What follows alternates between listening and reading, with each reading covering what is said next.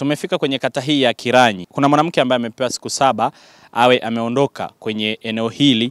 Juzi kuna tukio ambalo lilitokea eneo ambalo lilimhusisha dada huyo ambaye ah, inadaiwa kwamba alifumaniwa na mume wa mtu, ikapelekea mke wa mume yule kuvunja nyumba ambayo a, walikuwa naishi pamoja na mume wake. Kwa hiyo kukawa kumetokea vurugu. Sasa uongozi wa serikali katika eneo hili ukaamua kutoa siku saba ili mwanamke huyu aweze kuondoka eneo hili mara baada ya kudai kwamba tabia zake mbaya zimekithiri eneo hili mpaka wakaamua kupelekea kufikia hatua hiyo. Endelea kunifollow pale kwenye Instagram, natumia godi tza_iotv iotv kwa ajili ya kunisogezea update pamoja na taarifa mbalimbali. Naitwa Julius Paulo Laiza, ni balozi na ni katibu wa kitongoji cha Namayana. E, hili tukio nafikiri ilikuwa ni muda wa saa nane usiku, nilipigiwa simu. Baada ya kupigiwa simu nikaru, nikaja. Baada ya kuja kwenye eneo la tukio, baada ya kuja kwenye eneo la tukio nilifika nikamkuta mtu ambaye alikuwa ame, ame, amefumaniwa, yeye hayuko amekimbia, lakini aliyekuwepo ni mke wa mtu aliyemfumania mtu na mume wake, na mume wake alikuwa amejifungia ndani kwa mwenye nyumba.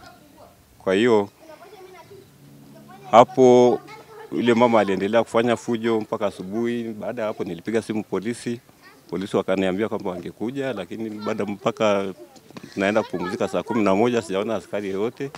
Asubuhi nikaja nikaangalia hali ya watu ambao niliwacha ule ile alfajiri, nikakuta hawako wameondoka tena, wameendelea kwenda kunywa, lakini tulijitahidi kuhakikisha kama hali ya usalama inarudi kwenye eneo hili.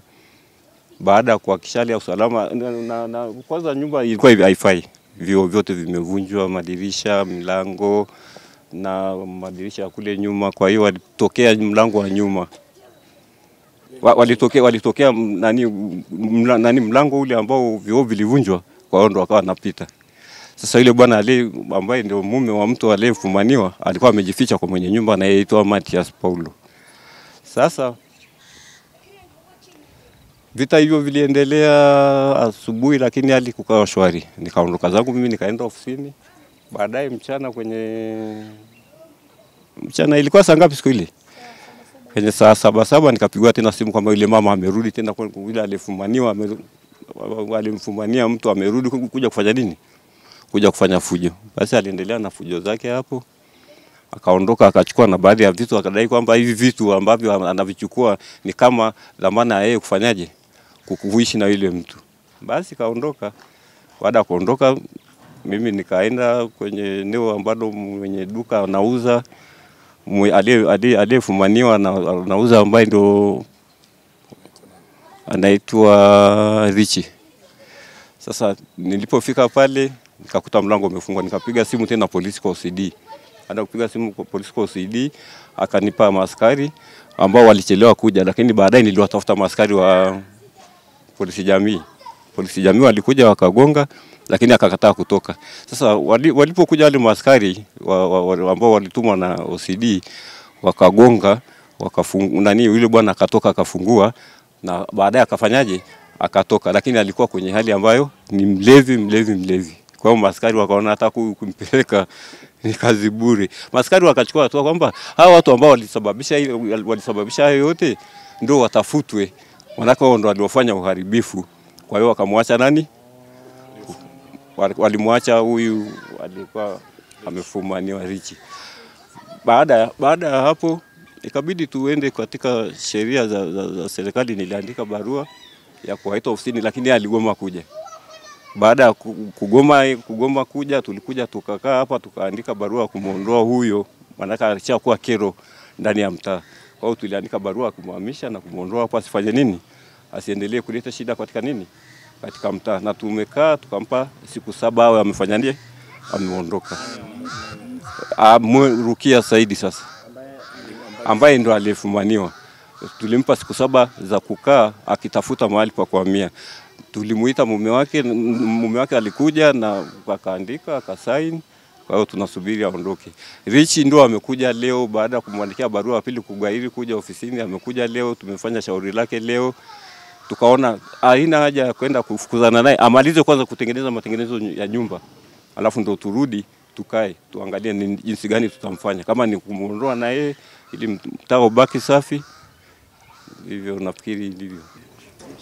Mi kwa majina yangu naitwa Linda Bahati Nyenza. Mi ni mtoto wa baba mwenye, mi, mi ni mtoto wa mwenye nyumba. Mm. Mi nilipigiwa simu kwenye saa nane usiku, nikaambiwa hapa kwenye nyumba za babako kuna ugomvi upo. Nikwambia kwa sasa hivi sitaweza kuja kwa sababu kwangu ni mbali na hapa. Nika asubuhi ndo nilikuja, kulipokucha asubuhi nikaja Nikakuja asubuhi ndo nikakuta uharibifu kama huo mliouona hapo. Basi ndo tukaanza kutafuta namna kwanza ya kusolve, tutafanyaje tutengeneze vioo na mlango. Ikawa ni tatizo ni tatizo kubwa ambalo limekuwa linaleta fujo sana hapa. Ndo serikali yani, tukaenda ofisi ya kijiji tukaomba kwamba mtu ahamishwe, ingawa serikali walikuwa wanasema kwamba wao hawana mamlaka ya kumhamisha mtu ndani ya siku saba, wakasema watamhamisha ndani ya mwezi, lakini tukaja huku kulingana na tatizo lilivyo kubwa, wakaona waongee na mume wa huo dada ili kusudi wanani waweze kumwondoa kwa wakati, kwa sababu tayari inasababisha ma, maafa. Yule dada kila akiondoka akirudi ni tatizo, ni ugomvi, ni kutoa vitu. Hiyo ndo shida iliyokuwepo hapo. Okay, baada ya malalamiko hayo, IOTV ilimpata mwanaume huyo ambaye anatumiwa kufumaniwa, ambapo anasema ni kweli tukio hilo lilikuwepo, lakini mke wake alikuwa na jazba mara baada ya kumkuta mwanamke huyo akiwa uh, kwenye nyumba hiyo. Jina naitwa Richard Godson Mgulwi. Mwanaume mwenzangu, mimi siwezi kusema uongo, lakini hiyo magendo yenyewe, mimi wakati huo nili- nilikuwa niko chumbani, niko chumbani, yeye yuko sebleni, nikamwambia wananichemshie mahindi hapa, sijala kitu hata na kama siku mbili kabla mahindi hajaiva mzee. Kuhusiana na ile tukio ambalo lilitukia juzi, ni kwamba limeisha, hakuna taharuki, familia zote zimekaa sawa tumekaa mpaka serikali za mtaa na mambo yameisha. Kwani mwanzo lilikuwaje? Ah, ilikuwa ni katika masuala ya kimapenzi ya Ambapo ni wivu wa mapenzi baina ya, ya mke wangu na mdada mwingine. Kwa hiyo mke wangu akadai kwamba na mahusiano ya kimapenzi,